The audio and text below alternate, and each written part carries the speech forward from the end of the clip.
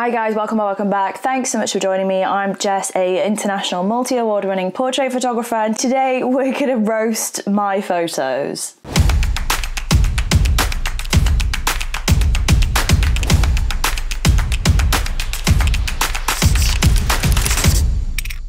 I feel so ill, guys. Honestly, I was in London last week, and it's not COVID. Don't worry, we're not we're not COVID contagious right now, but London last week for the uh, awards evening for the societies. Super, super excited, super stoked to say that I have won the finalist awards in two different competitions at that night. So that was cool. I mean, the dress was a lot more revealing than I had planned. Dan got really drunk, and it was a great night, okay?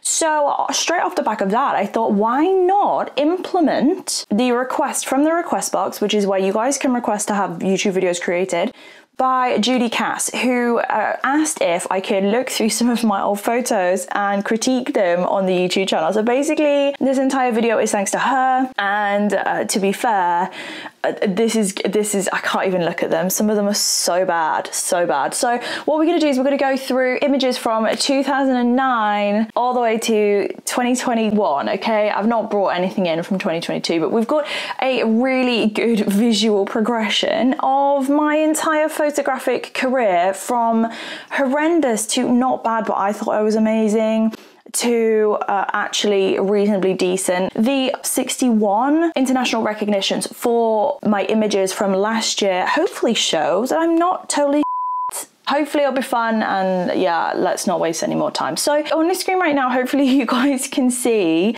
my photographic career from 2009 all the way through to one of these two. It was the last image that was taken in 2021. So yeah, we kind of have everything. As you can see, really strong trend for dogs, but also throughout, and I haven't included some from kind of the middle years, but we do also have like horses popping up. Horses are like featuring in, in the thing, and then also commercial work. So we also have commercial. So we're gonna look at these images and I'm gonna critique them, okay? And I'm not gonna hold back because Picky Patricia, that's my alter ego, by the way, if you're new here. So let's kick things off with 2009.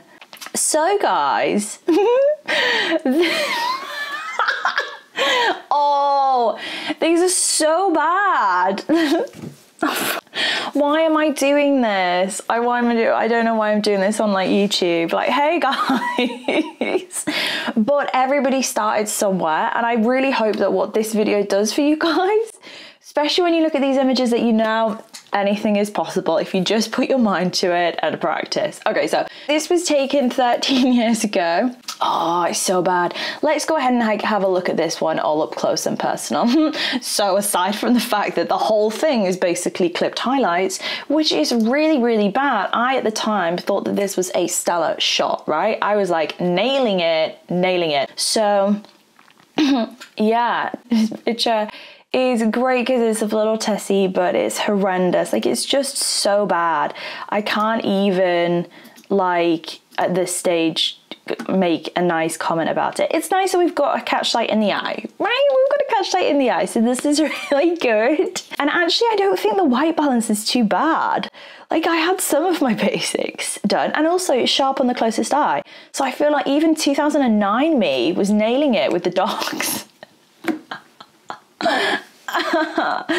okay, what about this one? Okay, so this is George. This was my pony. So I had this printed. I remember printing this. This was like, I was like, oh, this picture's amazing, right? I had this printed and it was like this, okay? Let me tell you guys, uh, you probably can't tell from this, but the trees are in focus, right? The subject's not in focus. So let's just put it in the bin. And look at the next one, which again, number one, horizon is wonky, right? I mean, seriously, this angle there is no point trying to save this image, but the angle, the horizon was wonky. We've probably got blown highlights going on, including on the subject. This could have been a nice picture if it was shot well. So the the camera angle needed to be lower. The eyes anything at the front end of the subject in focus would be an improvement on this picture. And yeah, that's great. So let's move quickly past 2009 and walk straight along into 2010, where to be fair, I don't feel like I had a lot of improvement, but you guys may disagree. So again, little Tessie here, Photographing in full sunshine, not the end of the world, quite a nice wider angle piece. Again, compositionally, way too tightly cropped. White balance is actually good though. Again, my, my white balance, what is going on? I'm surprised. I think the focus is on the neck, so totally straight in the bin for that one. And also the horizon line is wonky, so mm-hmm. this one of Grace is soft. Let's move along. Um, but it's a better, it's a, I feel like that is, you know, come on, let's look at the improvement here. We did improve also. We did improve, so I'm okay with that. So then I moved into a different home.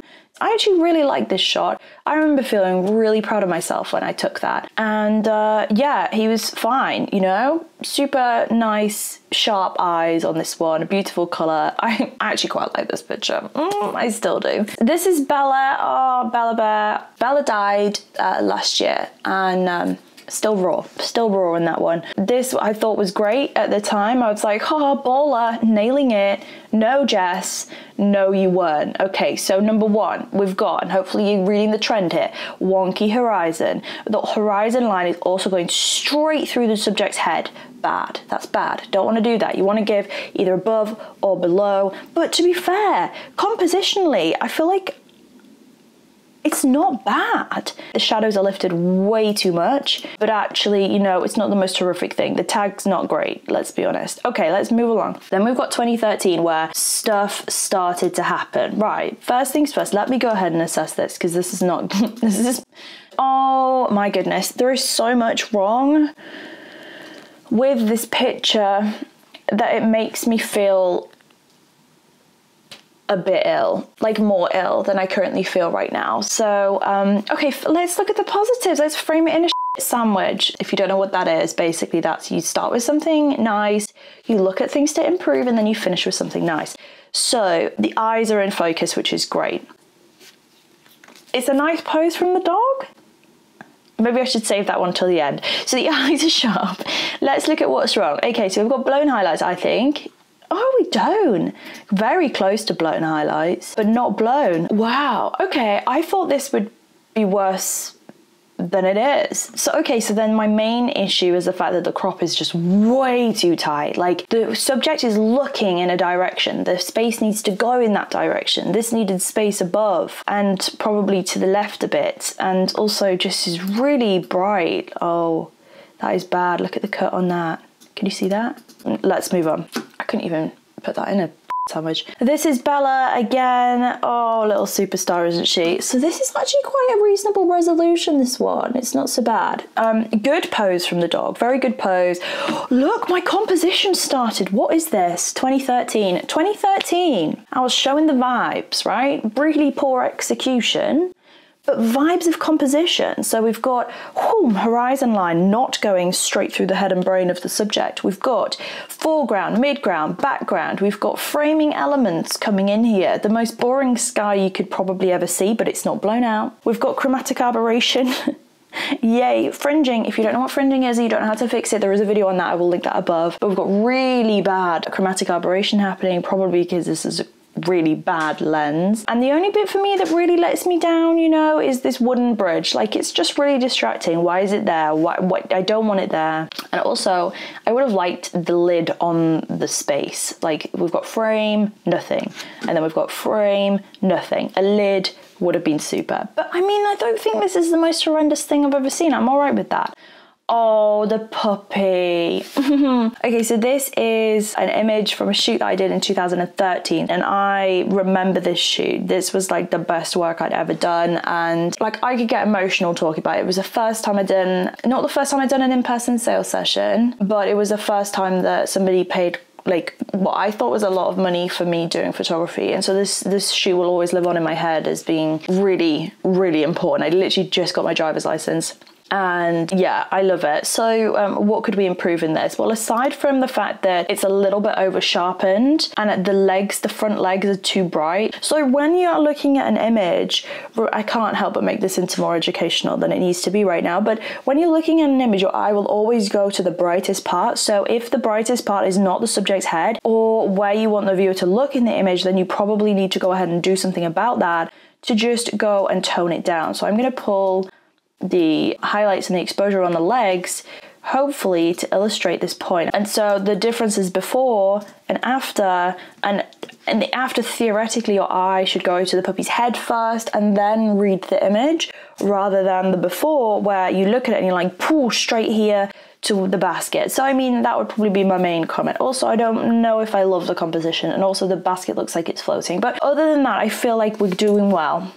Oh, Belly. Oh, okay. So this is when I was like really getting deep into my black background work and I really enjoyed it. This is Bella again. The image itself is sharp in all of the right places. The composition is way too narrow for a pano. We needed more space above and below, but this image actually is technically not bad. Probably would pull down the highlights on the little Santa hat. This is too hot here. There's probably a bit of cleaning up to do on the floor, but actually this is not bad. Okay, let's do 2014 because this is where things get really, really interesting. Okay, this is 2014 for me. 2014 was the year that I became a photographer in my brain because I was like, man, I can do this now. I can pop out professional level, technically sound images on the daily without a shadow of a doubt. So we went from 2009 to 2014 before we hit this level.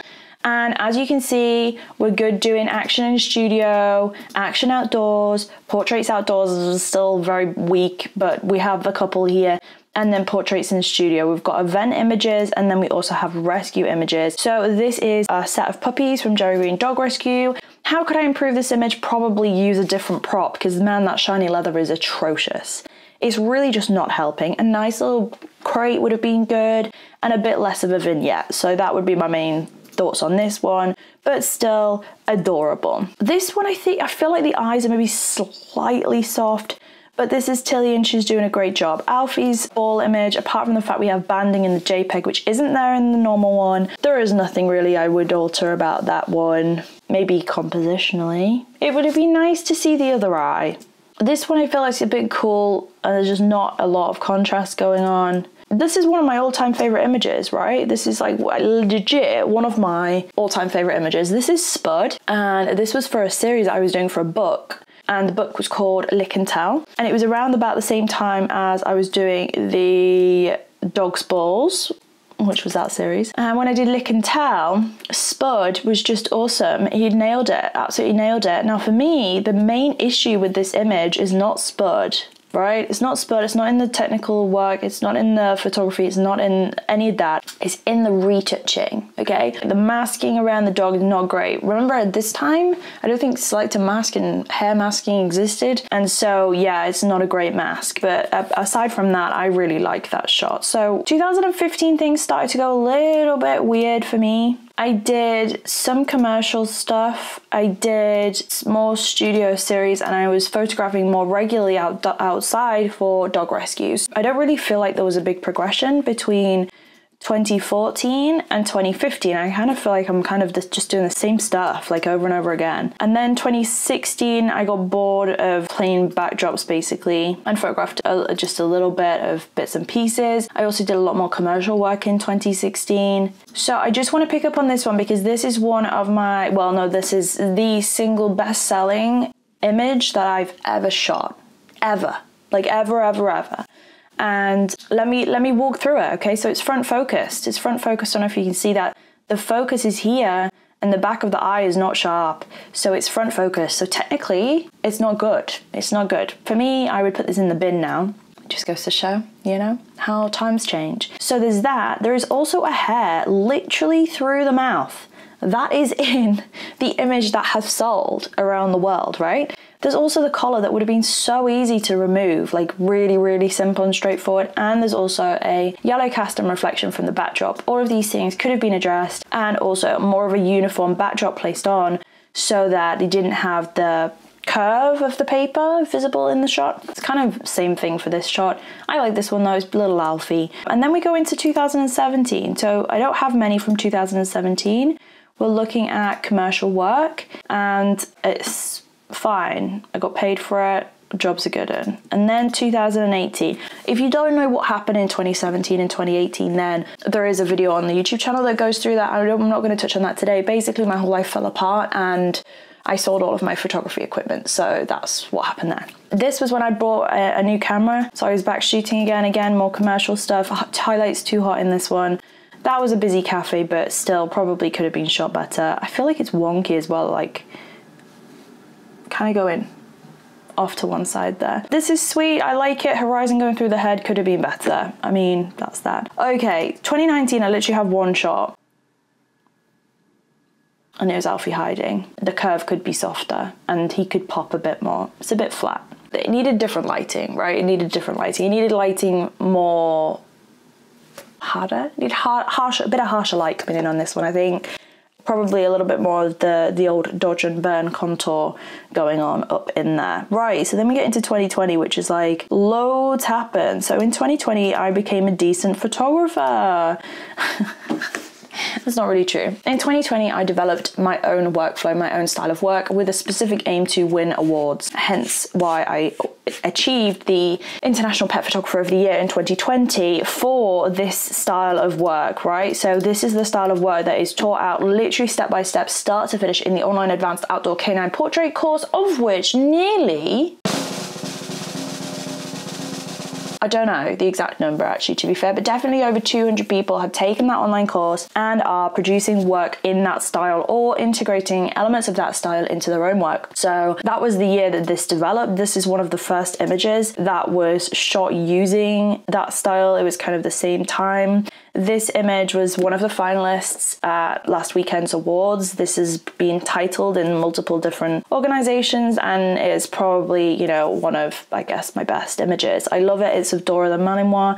It's a composite, but it's a composite that was shot all in that location. It's not like we did different things, but she is stood on actually on that log. So that's um, one of them. I also did more commercial work. So this has also been titled in international awards for commercial. It's a light painting, kind of. It's a difficult concept to explain, but it's kind of a light painting. So there's 52 different images that go into this one and yeah, that's that. Finn and the Fairy was a highlight for a lot of you guys. So Finn and his little fairy friend, that got me Northern Pet Photographer of the Year last year. So that was fun for 2020. And then Mia and Solo, and it was Mia who made me want to go and get a Spanish horse, hence Tuna. And then 2021. So 2021, I'm kind of like deviating slightly away from the style from 2020, and you can see that my work just gets more power to it. It's like boom, but still compositionally sound. These are all really well achieving images. They've achieved a lot in their little lifetime. That's really low res, but you can get a vibe for it. The wolves are good, the wolf dogs. That was from Project Wolf. I'll link a video about that above. And yeah, it is what it is. Would I do it differently? Hell yeah, I would. I would have shot it a little bit differently. I'd have moved myself a little bit differently. In the editing, I would not have absolutely destroyed the trees up here. If you can look at that, then, you know, I didn't do a great job there. And this is just Pippi and I love it to pieces, but, you know, that's Peep. This one we were faulted at like international awards, so I can give an honest critique of this one. This one we were faulted mainly because of the tilt of the subject's head. We just needed a bit less of a tilt because you could see up nose, so that made it drop from like a finalist to a merit in international print competition. But this prints beautifully. Oh, it's so vibrant. Honestly, it's gorgeous. This one is just, it's not really like, it just looks crunchy. Like it's very hard to explain it just looks a bit crunchy and also like over sharpened and her feet were muddy. It would have been nice if they were clean. Yeah. Oh, also I've just seen a line. Is that a mascara? this did well. Feedback was that we wanted the tail. Okay, so the judges at the print comp that we could sit and watch the judging, the judges wanted the tail and that was what pulled the points down. They also said that the highlights were a little bit hot. I would agree. Let me go and see what we're at with them. 92%. Okay, so 92% on those highlights. Probably could have done with being about there for the back and then the head popping out. So yeah, that would be something to definitely look at improving in this image if it was going to be used for something else. Also potentially bring back that branch just a little bit more so that it doesn't come into the subject space too much more. That's Django, by the way. Frecky on the lock. Oh, Frecky is gorgeous. Now, this is a, an interesting one, and I want to show you a couple of parts of this if I can. So, guys, two versions of the same image on here, right? So, Um, I've included in my little like rundown this image because this is the last, the final one, but there's a change, a very important change between this image here and this image here. And this one scored 90 plus and was a finalist at the competition in print, but this one was not. This one scored merits and like finalist level, so like 85 plus, but it couldn't get over 90. And so I did an amendment to it and then submitted it to a different competition, and that was the amendment. And so what I'm hoping that you'll be able to see here is Frecky is stood here and the horizon line, do you remember me saying from earlier on? Do you remember? The horizon line is going from straight through the head, kind of the ears, but straight through the head. So what do we do? We move the horizon line. We move the horizon line before and after. Hopefully you can see the difference in the before and the after. So the horizon is being pulled down.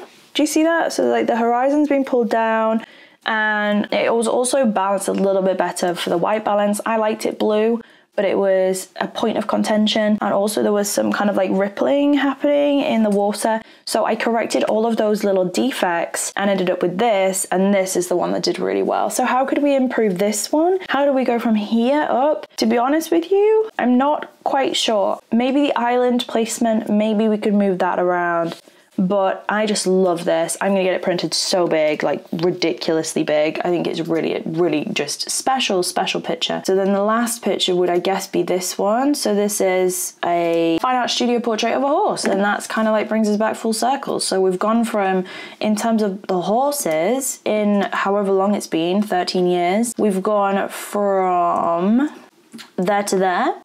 I feel like that's quite a large change. okay, so we've gone from there to there, and in terms of the dogs, we've gone from there to there, which I think again is quite a large change. For reference, that's a black Labrador, so the difference in the work is quite ridiculous. So uh, yeah, that was me roasting myself with probably the most embarrassing YouTube video I think I've ever done. Hopefully that was useful for you. If you're new here, by the way, go ahead and hit the subscribe button because usually I'm not quite this woo woo. A little bit more serious than this most of the time. But yeah, that's kind of, this is kind of my little corner of the internet. And if you don't like it, you can leave and that's fine. I don't really care. Do you know what? My, I guess my favourite period was probably 2014.